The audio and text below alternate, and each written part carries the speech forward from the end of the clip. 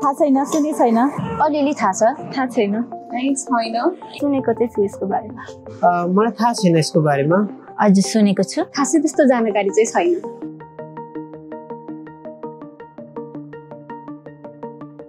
नेपालले धेरै कमिटमेन्ट्सहरू गरेको छ जस्तै public service human and environmental justice exactly के के गरेको थियो भने चाहिँ थाहा भएन। त्यस्तो धेरै त थाहा छैन तर चाहिँ जस्तै अब जेनरल उहरूलाई सेक्टरहरूलाई कभर गरेर जस्तै रेप भिक्टिमहरूको लागि चाहिँ कम्पल्सिएसन अनि क्लाइमेट चेन्ज अनि त्यसपछि करप्सनको बारेमा गरेको छ भन्ने चाहिँ थाहा छ।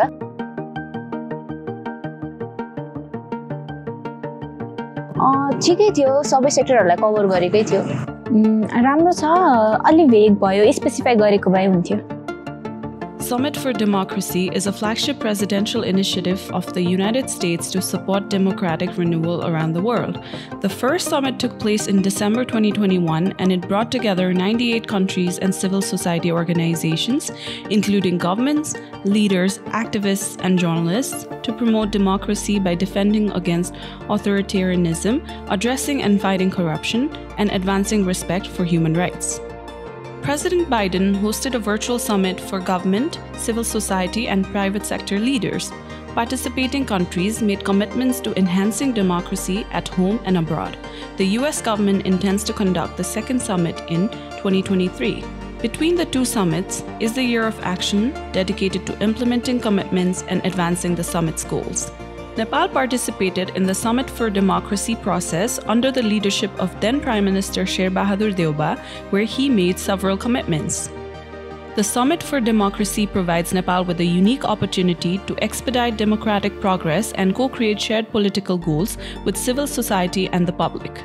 However, most of Nepal's commitments are vague and lack specificity. The country also lacks an effective implementation mechanism to fulfill its commitments, and a roadmap for completion is entirely missing. IDEA International and Accountability Lab Nepal, with the support of the European Union, surveyed 800 respondents in Nepal to understand the public's perception of Nepal's Summit for Democracy commitments. This survey, together with a report on Nepal's progress in the implementation of its commitments, was presented to key civil society organizations and the government during a dialogue in Kathmandu.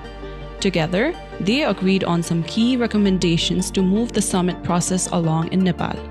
Similar dialogues were held in Africa, Asia, and Latin America in the framework of the project supporting Team Europe Democracy.